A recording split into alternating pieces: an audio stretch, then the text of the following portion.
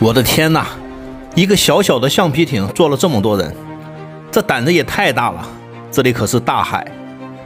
这是一群非洲的难民，因为自己国家太穷，想去欧洲找工作，走到半路漏气了。万幸遇到路过的货轮，及时救援。这又是婴儿又是孕妇，否则真的是凶多吉少。本航次货轮装载两万个集装箱，从深圳盐田港出发。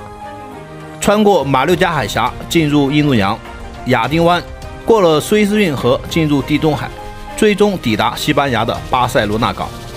全程八千两百七十四海里，需要航行二十八天。有老铁会好奇，这么大的集装箱单程的利润是多少呢？这里给大家算一下，一个标准集装箱的运费啊，八千美金，装载两万个标箱就是一点六亿美金。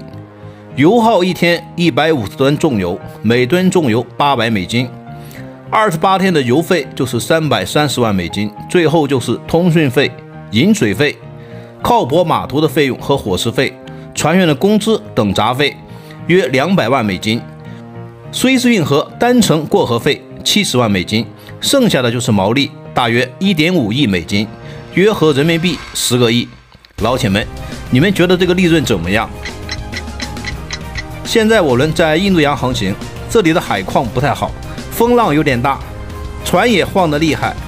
不过集装箱在开航前都做了加固，货物还是比较安全的。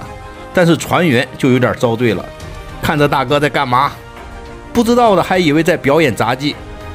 得了，盘子都没了，这还吃个锤子？三副看着这一堆跑来跑去的资料报表，也是很无奈。至于晚上怎么睡觉，那就要看技术和定力了。如果睡不着，你就慢慢的数羊，数到一万只的时候，差不多也就该上班了。经过二十天的航行，我们已经穿过印度洋，即将进入亚丁湾。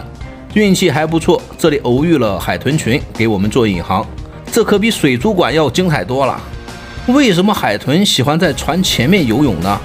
船舶在航行过程中啊。在船体的周围会形成一个压力圈，周围产生很多的压力波和压力流。海豚沿着这个波和流游泳啊，可以大大减少体力的消耗。海洋中的生物以生存为目标，如何节省体力使自己生存下来才是最主要的目的，这也是本能。现在我轮航行在亚丁湾，也就是索马里海盗区，这次没有聘请安保护航人员。我轮的干舷高度十八点二米。这个高度，海盗基本上也不会有什么想法，很难爬上来，又节省了七十万美金。不过给大家多发了一些劳务费，所以呢，大家也没有什么意见。前面就是收费站，你这一趟七十万美金又花出去了。苏伊士运河呢，去年一年的收益超过了六十亿美金，就是去年被堵的那条运河，一个小时间接给全球的经济贸易啊造成了损失，就高达数亿美金。这条运河太重要了。目前只能实现部分双向通行，这么重要的地方就不能在旁边再挖条河吗？这个项目我看行，老铁们要不要入个股？穿过苏伊士运河抵达地中海，就是片头事故发生的地方。这次靠港还发生了一个小小的插曲，港口的 PSC 登船检查啊，先是上来检查完一堆繁琐的文件材料，又来到了存放火食的库房。一个女官员指着冷冻的鸭子，说是很喜欢。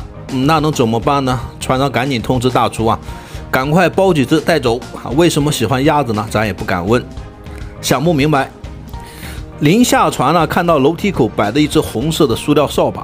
另外一位检察官说这应该很实用。水头很聪明，跑到仓库里啊，给每位啊外国友人又带了一把中国的扫把。这一顿操作猛如虎。几个人带着几只黑色的塑料袋，满意的就下船了。